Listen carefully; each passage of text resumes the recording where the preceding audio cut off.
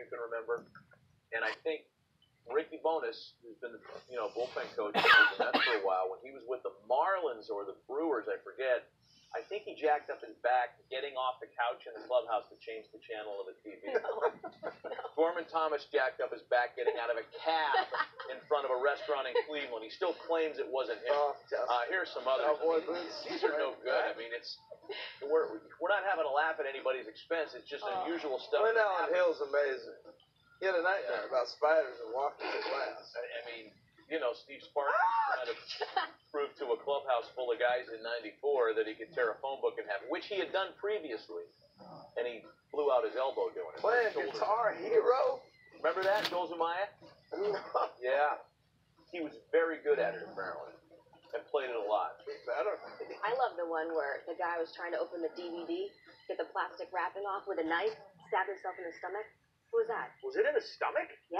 I know Got himself right in the That was he Jake cut a Peavy, finger right? doing that, but somebody lassoed his Yes. teeth. Oh. Crazy. Saw it last night on MLB Tonight. Shout out. Had to be true. Hello. It, it had to be true. Had to be true. You know, we played a little Where in the World is Alex Rodriguez yesterday. Yeah. Yeah. Play a little Where in the World is Tim Lincecum. Spoiler alert, Ugh. pretty jacked. Whoa!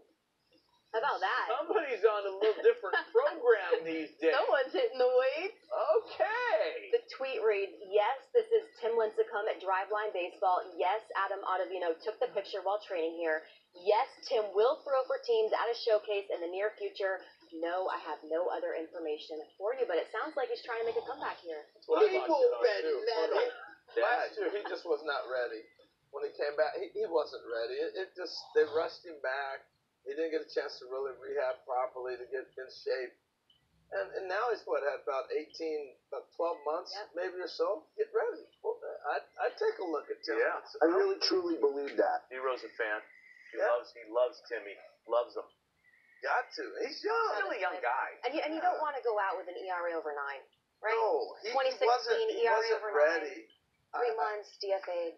He Yeah. comes back now. He'll be ready. Yeah. He's 33. I just so not not he's not a baby anymore, but you know maybe there's still some more gas left in his See tank. what we got. Roll it, Cavani! Oh, hey, hey, careful. To another famous giant, Yeah. Barry Bonds. Here's what he's cooking up, literally. Chef Boyardee right there, fellas. I'm not even making this up. Seriously, he's getting after it. Is he on a kitchen. celebrity show or something, or just in his kitchen? No, just in his kitchen. He dresses like not. that? I guess so. Come get a piece of that. Oh, there's the finished product, Looks good. right? Sourdough bread. It's no finer than it is in San Francisco, by the way. If you should know about a food product, it's that. It's good stuff. Someone replied under it, Hall Loaf Famer. Very Clever. nice wordplay this Well morning. done. Yeah. So here's what's coming up.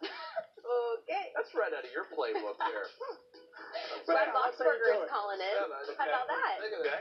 D-backs. Great contract there. Anthony Castrovince will join the show in studio. And we'll also keep looking at, at um, MLB Network NHL Network Challenge. Oh, we have another That clip Harold from that. part of. That show's on next. You were a part of it. You hosted. You killed it in the hockey events. Hey, I'm just saying. Really, that was